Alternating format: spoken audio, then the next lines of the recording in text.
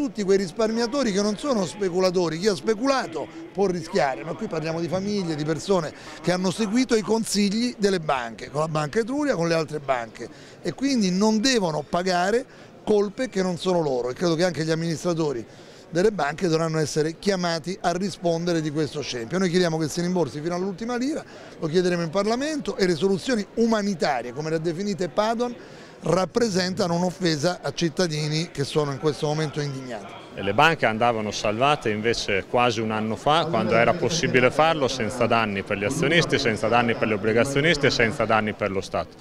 Ha deciso di non farlo, il governo piegandosi ai diktat dell'Unione Europea ha sbagliato, ha creato, un ha creato un danno irreversibile comunque molto gravoso sia ai risparmiatori che di fiducia nel sistema bancario italiano, a questo punto l'unico modo per rimediarlo è trovare una soluzione che consente il rimborso consistente almeno degli obbligazionisti.